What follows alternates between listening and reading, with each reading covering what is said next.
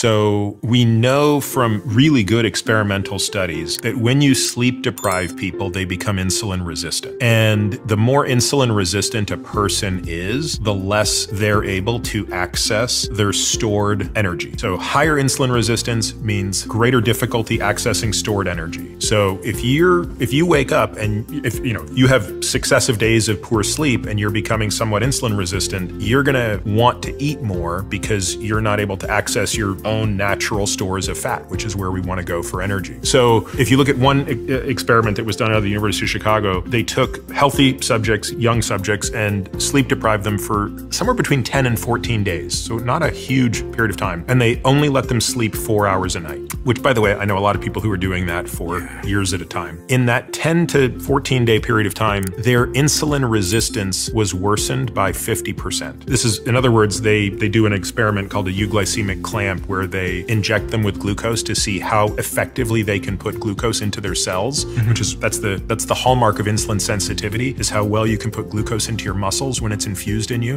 and their capacity to do that was reduced by 50% after such a short intervention. So I think sleep restriction and unhealthy sleep is a is a very underappreciated cause of metabolic health and weight gain. And then by extension, these other things we're talking about. It seems to me to be the thing furthest upstream in my life that then causes this cascading effect to how I show up in sort of cognitive performance, how well I can articulate myself. If I go to the gym, how hard my workout is. If I choose healthy options versus unhealthy options. So it feels like the and, and mood in general. Yeah. Yeah. I mean, look, I, I I've said this before, and I'm not the first to say this, so I'm paraphrasing others. But if you really stop to think about it, sleep doesn't make a lot of sense from an evolutionary perspective. Like if you go back in time a few hundred thousand years, why would we have spent a third of our life unconscious? It didn't serve our purpose. You can't mate, you can't hunt, and you can't defend yourself. So you have to believe that if we could have evolved out of it, we would have done it. And we didn't. So that means that whatever it's doing, it must be really important. I mean, core, essential to our existence. While I will completely acknowledge that different people have a different necessity or requirement for how much they sleep, I still think that many people underestimate how much they need.